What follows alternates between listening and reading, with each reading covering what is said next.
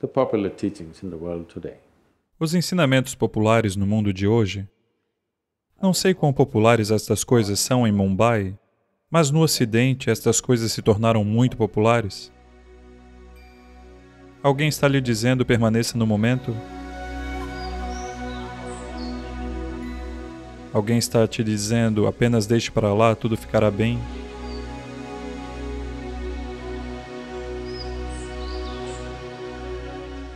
Isso significa que deve haver alguém cuidando de sua vida nos bastidores, então você pode deixar para lá.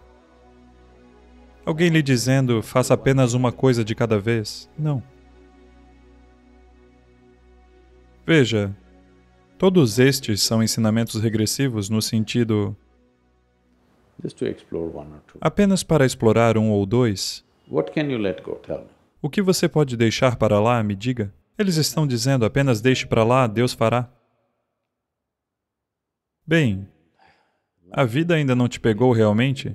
É por isso que você está falando esta linguagem? Você está vivendo num mundo de fantasias? Quando a vida realmente te pegar, então você saberá que não pode largar nada, você tem que administrar. Largue os seus negócios hoje e veja o que vai acontecer. Ou tente algo mais dramático, você está dirigindo hoje, apenas deixe para lá. Muita gente parece ter deixado. Basta soltar e ver, ou você estará morto ou a outra pessoa estará morta. Agora, esses ensinamentos populares, que infelizmente se tornaram populares, têm confundido a humanidade em grande parte. Deparei-me com um grupo de pessoas recentemente nos Estados Unidos com o tipo de gente convicta ou permaneça no momento. Eu te pergunto, você pode permanecer em algum outro lugar? Fique em outro lugar e me mostre, por favor.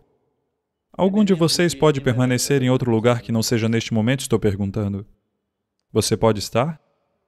Você pode estar em outro lugar que não seja aqui, neste momento? Não. Então, por que você precisa de tal ensinamento?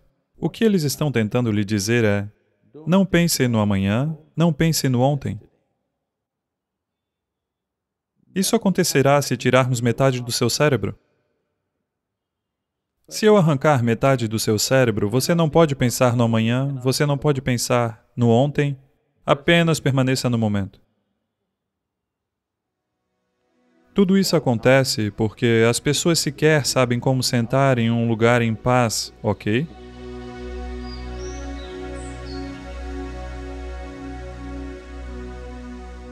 Portanto, as pessoas estão chegando a soluções como esta. Shankar Pillai abriu uma farmácia nos Estados Unidos. E um dia ele tinha algo para resolver, um pequeno assunto a tratar. Então ele pediu ao seu filho adolescente: Por favor, tome conta do estabelecimento por apenas uma hora, eu já volto. Então o menino disse: Sem problemas, pai. Então ele saiu. Dentro de uma hora ele voltou. Quando ele voltou, na frente do estabelecimento, havia um homem abraçando o poste de luz. E seus globos oculares estavam girando loucamente, e ele parecia totalmente louco. Ele olhou para o homem, Será que o homem está querendo entrar no estabelecimento ou está saindo do estabelecimento? Não se sabe. Então ele olhou para ele, depois entrou e perguntou ao seu filho: Quem é aquele cara abraçando o poste de luz daquele jeito? Ele é nosso cliente? O menino disse: Sim, pai, ele é nosso cliente. O que você deu para ele? Ah, ele estava com uma tosse violenta, então eu lhe dei uma caixa de laxantes e eu fiz tomar aqui mesmo, todos eles. Ele disse o quê? Para a tosse forte você deu a ele laxantes, por quê? Ora, pai, olha para ele. Ele se atreve a tossir agora?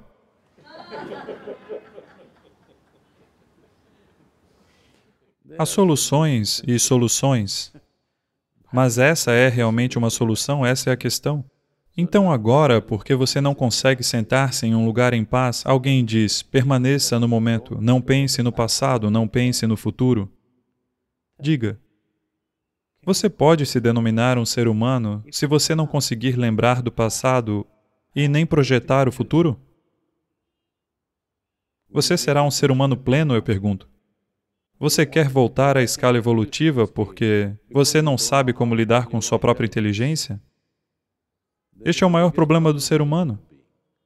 O único problema é este. Você pode chamá-lo de mil nomes diferentes, mas o único problema é que você não sabe como lidar com a sua própria inteligência, não é? Você verá, se tirarmos metade do seu cérebro, você ficará em paz. Sim ou não? Mas eu pergunto, isso é uma solução? Isso é uma solução? Retirar metade do seu cérebro? Portanto, tirar a sua habilidade de olhar para o passado e de projetar o futuro, se você tirar essa habilidade, talvez você fique em paz, mas para qual propósito? Conheço muita gente hoje em dia falando disso, de ficar em paz, de que a nossa paz de espírito é o objetivo final de sua vida. Até os chamados professores e líderes espirituais estão dizendo a paz de espírito é o objetivo final. Diga, por sua inteligência, você pode aproveitar o seu jantar hoje à noite?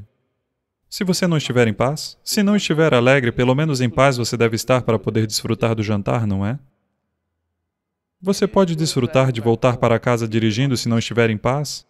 Você pode desfrutar das pessoas ao seu redor se você não estiver em paz? Você pode desfrutar do trabalho que faz se não estiver em paz? Eu pergunto. Se você não consegue estar alegre ou em êxtase, você deve pelo menos estar em paz, não é?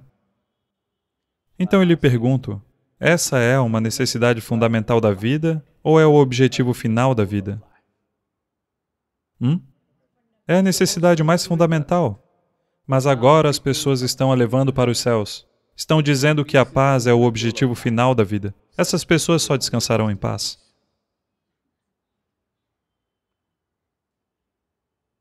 Qualquer coisa de que você seja privado tende a se tornar um produto celestial. Hoje, se você diz paz, as pessoas dizem paz divina. Se você diz amor, as pessoas dizem amor divino. Se você diz bem-aventurança, as pessoas dizem bem-aventurança divina. Essas são todas coisas das quais os seres humanos são capazes, não é? Estar em paz, ser alegre, ser amoroso, ser bem-aventurado.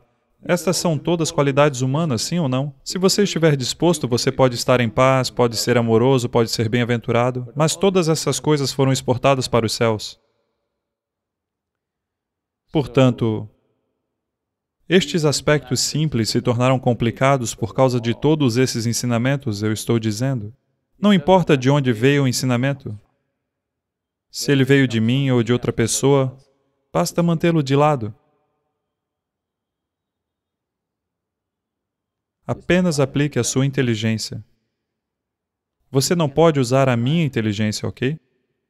Você pode usar a minha sabedoria, talvez, mas não pode usar a minha inteligência, você só pode usar a sua inteligência. Portanto, com a sua inteligência, experimente. Se funcionar, vamos mantê-la. Se não funcionar, descarte isso amanhã de manhã. Não é necessário continuar por mais um dia, mas primeiro você deve decidir: você está buscando consolo ou está buscando soluções? Se você está buscando consolo, apenas acredite em alguma coisa, isso vai funcionar, entende? Você acredita que a fonte da vida está nesta lâmpada e todos os dias você faz isso. Vai funcionar. O que você está fazendo é apenas psiquiatria barata. Sim, você está tentando administrar o seu espaço psicológico com algo, usando uma âncora do lado de fora. Tudo bem, não estou dizendo que isso é errado. Se você precisa disso, você pode fazer. Mas se essa não é a sua necessidade, o que você quer é uma solução definitiva para a vida, então você precisa de algo mais, que não virá com estes tipos de ensinamentos populares. Você precisa de uma força poderosa que te mova de uma dimensão da vida para outra. Então, quando tal necessidade surgir, se tal desejo vier, então você deve procurar a espiritualidade, caso contrário, apenas apenas faça algo, vá escalar uma montanha, vai funcionar, estou lhe dizendo, você vai construir a sua confiança. Sim. Subir uma montanha, nadar no oceano, todas estas coisas vão aumentar a sua confiança ou acreditar em alguma coisa. Mas para qual finalidade? Qual é a sua necessidade? Isso é algo que você tem que ver? Você tem um anseio pelo Supremo? Ou você está apenas tentando administrar o seu drama psicológico? Essa é uma primeira distinção que você tem que fazer. Mas o seu drama psicológico só pode ser gerenciado a partir do interior.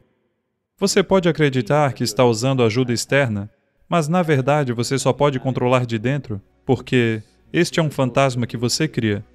Você não pode matá-lo por fora.